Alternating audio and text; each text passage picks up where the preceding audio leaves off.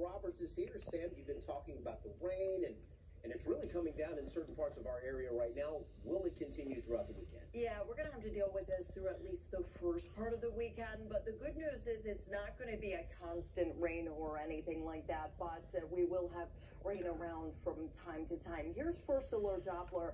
And you can see that the eastern half of our viewing area is completely dry. It doesn't start raining until you get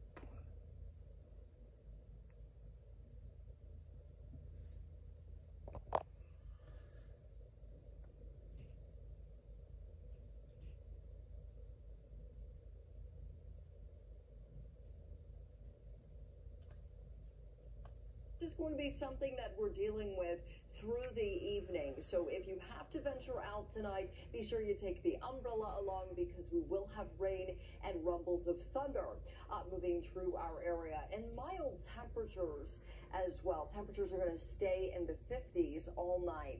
Uh, tomorrow, occasional showers and cloudy skies. It will be windy over the course of the day. Tomorrow, winds gusting upwards of 35 uh, miles per hour. And then tomorrow night, still some lingering showers in the area uh, with just a few light, wet snowflakes mixing in after 10 o'clock.